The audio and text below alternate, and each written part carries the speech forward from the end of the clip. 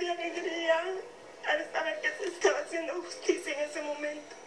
Es la emoción de quien fuera amiga y empleadora de George Floyd, pero los familiares de Floyd son los que más están complacidos con la justicia. People really believe that we have freedom, and it's freedom for all since justice was served for George. The sigh of relief off my shoulders. My Para Donald Williams, uno de los testigos en el caso, el veredicto le ha quitado un peso de encima.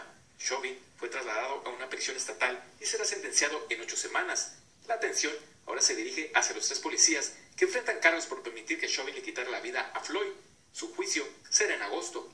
El verdicto principal, que en lo que fue encontrado Chauvin culpable, que fueron en tres, en tres cargos, esto definitivamente aumenta las posibilidades para que estos tres policías también sean encontrados culpables. Whether the MPD engages in discriminatory conduct justicia iniciará una investigación para saber si la policía de Minneapolis tiene como prácticas comunes la discriminación y el uso excesivo de fuerza. El jefe de esa policía dijo que colaborará con la investigación, pero activistas exigen que otras agencias policíacas de Minnesota también sean investigadas.